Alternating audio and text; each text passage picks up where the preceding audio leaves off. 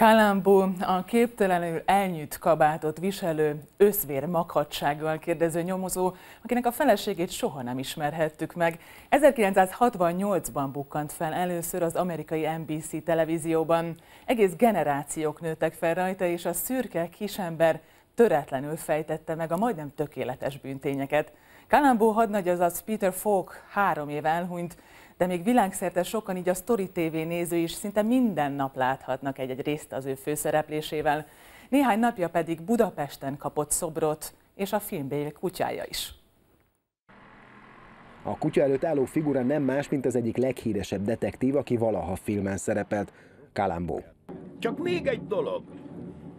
Az 5. kerületi önkormányzat egy éve írt ki pályázatot a szoborra, persze nincsen magyar szoborrendelés hiba nélkül. Itt az első verzióban szegény hadnagy egyetlen nevét, a vezeték nevét sikerült helytelenül írni. Pardon, uram. Kalambó hadnagy. Nem ismertem meg hadnagy úr, mintha megváltozott volna. Hajat mágattam.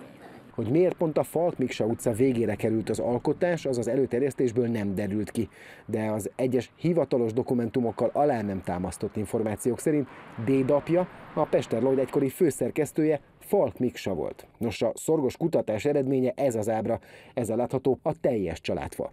Nincs rajta Falk Miksa.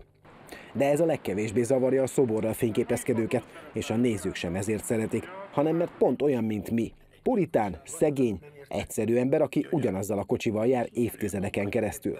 A kritikus szerint a karakter nem véletlenül ilyen. Kicsit még egy katolikus figurának is nevezném, nem csak azért, mert hogy szerepe szerint olasz származású, hanem a balonkabátja az erősen a ferencesek gúnyájára emlékeztet, a szivar füstje, ami a, tulajdonképpen olyan, mint a tömjén, a lélek gyógyíre, és elűzi a gonoszt, ami mindig-mindig idegesíti a bűnelkövetőket.